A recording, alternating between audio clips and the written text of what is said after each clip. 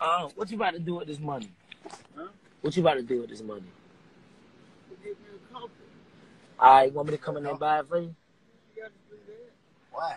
If you want this money, give me five push-ups. Five push-ups for this money, face ass. He better give me a whole five, face ass.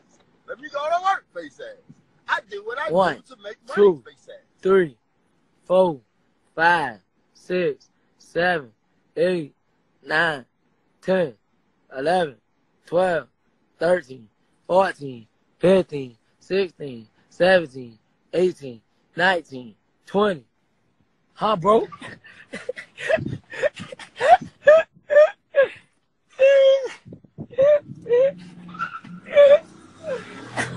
I ain't chill. cuz.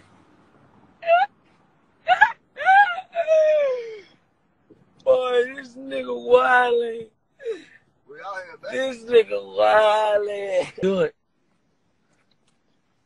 One, two, three, four, five. That's fine. Come get your money. Come get your part. hey, he talking about come get the money.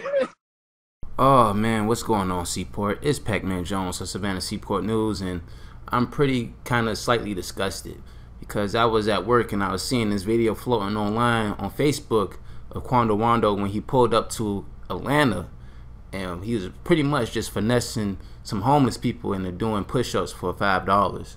But you know, uh, a lot of people responded to this online and they don't like it.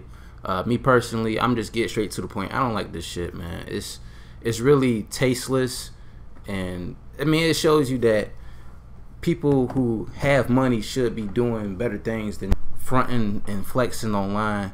Uh, you know, Quando Rondo, man. I mean, he's in a position where he could help out a lot of people now. You know, I mean, I don't, I'm not pocket watching the young brother, but you know, I can only assume how much money he's making off of his music, and you know, he can do some positive stuff with his money and with his music.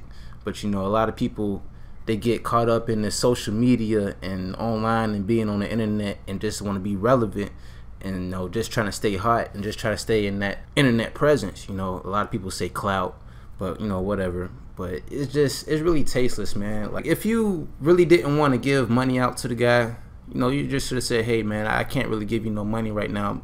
Or I can't give you really anything right now. And I know that's probably harder to do if you're a celebrity or a famous person or somebody that has some significant money. I know that's probably harder to pull off, but I mean, you know, you don't have to do a, a homeless man like that or homeless men like that, you know, because you know you just gotta look at it on the other side, man. Like, what if an Atlanta rapper came to Savannah?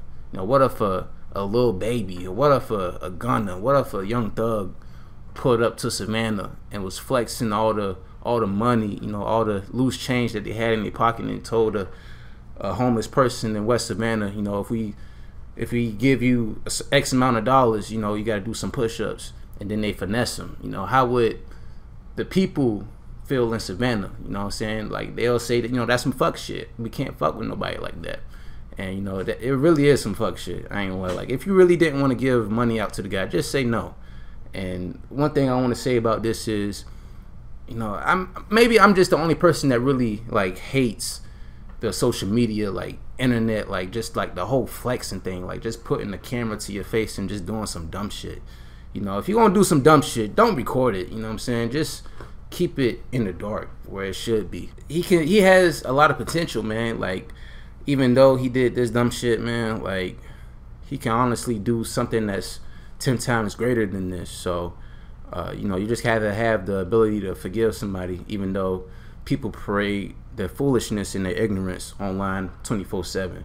But you know, it's Quando Rondo, man. You really got to do better. You know, if he if he's watching this video or not, man, you, you really got to move better because not only are you shitting on people that are homeless, but you shitting on people that supports you. And you know, when the people that support you, when they see you doing some goofy shit, when they see you doing some dumb shit, some fuck nigga shit, they gonna stop supporting you. And, you know, that might be from your listeners, it might be people in your own clique. When they see you doing some some dumb shit like this, I mean, people gonna slowly but surely turn their backs on you.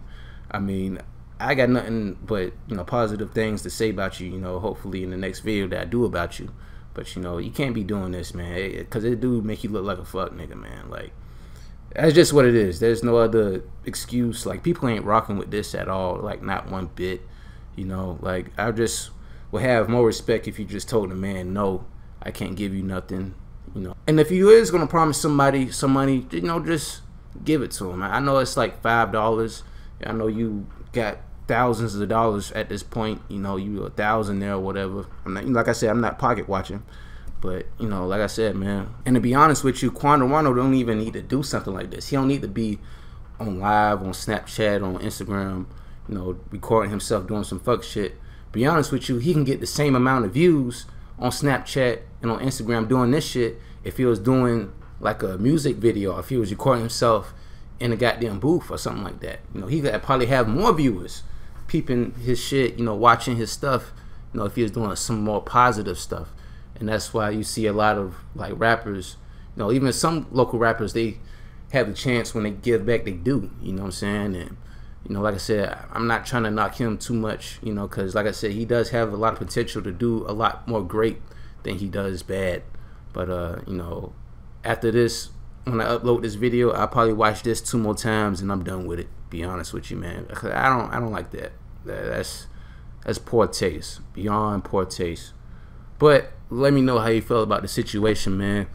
Do you feel like Quando Rondo was wrong? Or do you feel like Quando Rondo owes this man or owe these people a few pieces of change out of his pocket? You know, let me know how you feel in that comment section. But that's all for right now. It's Savannah C-Port News. And man, stay blessed, most definitely.